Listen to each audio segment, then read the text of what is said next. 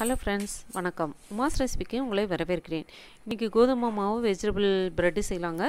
இது வந்து நான் வீட்டில் செய்து பார்த்தேங்க. எனக்கு ரொம்ப நல்லா இருந்ததுங்க. டேஸ்ட்டும் ரொம்ப நல்லா இருந்தது.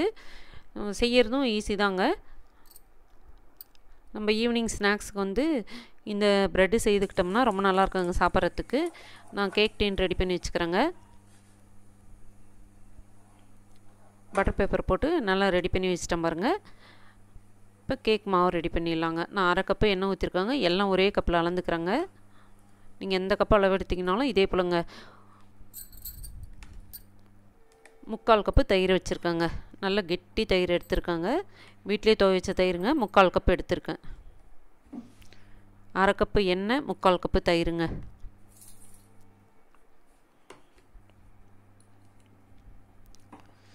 நம்ம வெஜிடபிள் ப்ரெட்டுன்றனால உப்பு கரெக்டாக போட்டுக்கோங்க. ரொம்ப நல்லாயிருக்கும் உப்பு கரெக்டாக போட்டுட்டிங்கனாக்க நான் நாட்டு சக்கரை ஒரு ரெண்டு ஸ்பூன் போட்டுக்கிறேங்க. டீஸ்பூனில் போட்டுக்கிறேங்க. உப்பு வந்து நான் டீஸ்பூனில் ஒரு அரை டீஸ்பூன் உப்பு போட்டிருக்கேங்க. தேவைன்னா டேஸ்ட் பண்ணிட்டு அப்புறம் பண்ணிக்கலாம். மறுபடியும் போட்டுக்கலாம். நம்ம நல்லா பிளண்டர் வச்சு நல்லா இது இப்படி அடிச்சுக்கலாங்க.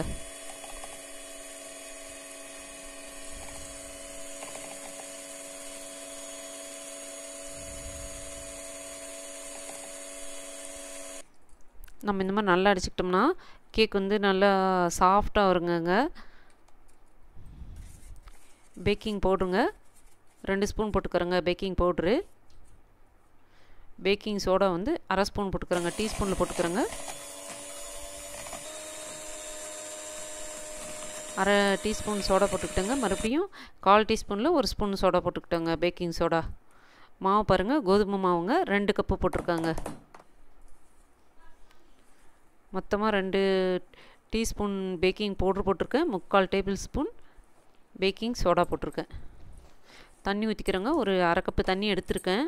நான் வந்து வாமாக இருக்குங்க தண்ணி வாம் வாட்டர் எடுத்திருக்கேன். ஊற்றி கலக்கிறேன். மறுபடியும் அதே போல் இன்னொரு அரை கப்பு தண்ணி எடுத்திருக்காங்க. மொத்தமாக எனக்கு ஒரு கப்பு தண்ணி ஆச்சுங்க. நம்ம தண்ணி வந்து பார்த்துட்டு ஊற்றிக்கணுங்க கலக்கும் போது ரொம்ப தண்ணி ஆயிடுச்சுன்னா அப்புறம் நல்லா இருக்காது. கரெக்டாக பார்த்துட்டு தண்ணி ஊற்றிக்கலாங்க மறுபடியும் நம்ம இது பிளண்டர் போட்டுடலாங்க நல்லா கொஞ்சம் நேரம் பிளெண்டர் போட்டோம்னா நல்லாயிருக்குங்க. நம்ம பாருங்கள் பீன்ஸு குடமிளகா தக்காளி வெங்காயம் இஞ்சி கட் பண்ணி வச்சுருக்காங்க. எல்லாமே பொடி பொடியாக கட் பண்ணி வச்சுருக்காங்க.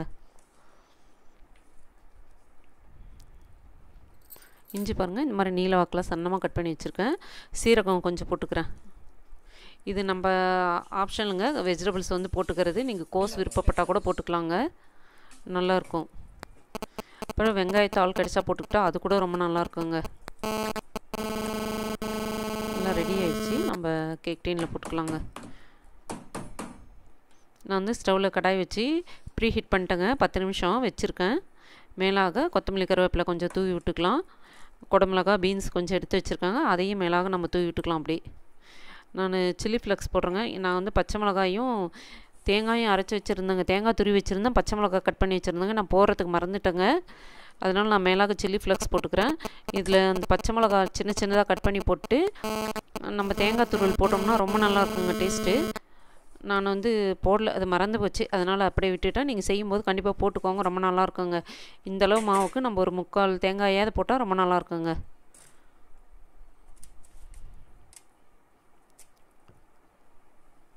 வச்சுறேங்க வச்சுட்டு மூடி வச்சுக்கலாம்.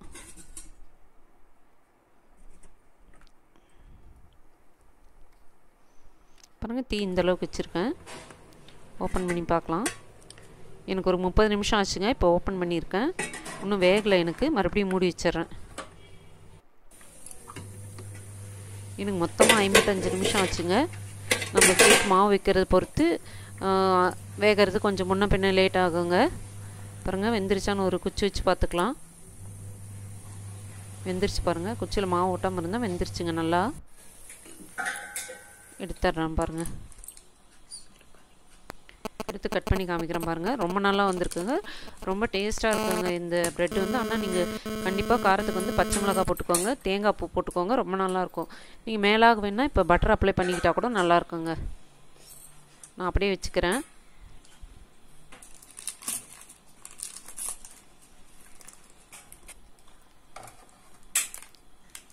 பச்சை மிளகா விருப்பம் இல்லைன்னா சில்லி ஃப்ளக்ஸ் கூட மாவு கலக்கும் போது போட்டுக்கலாங்க. அது கலக்கும் போதே போட்டுக்கிட்டிங்கன்னா தாங்க நல்ல டேஸ்ட் கொடுக்கும்.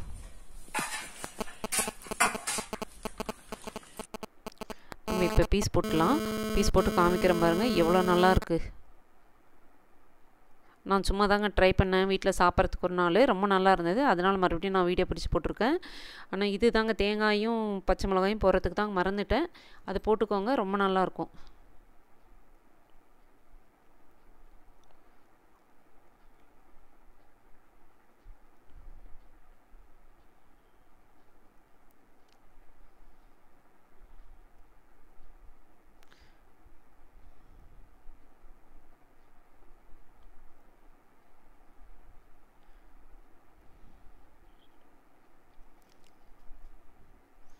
பாருங்கள் எவ்வளோ நல்லாயிருக்கு பாருங்கள் பார்க்கும்போதே நல்லா இருக்குங்க சாப்பிட்டா இன்னும் சூப்பராக இருக்குங்க. உப்பு காரம் மட்டும் கரெக்டாக போட்டுருங்க. ரொம்ப நல்லா இருக்குங்க இந்த ரெசிபி செய்து பாருங்கள் உங்களுக்கு பிடிச்சிச்சின்னா உமாஸ் ரெசிபி சப்ஸ்கிரைப் பண்ணுங்கள் லைக் பண்ணுங்கள் ஷேர் பண்ணுங்கள் மறக்காமல் உங்கள் கமெண்ட்ஸையும் தெரியப்படுத்துங்க. தேங்க்யூ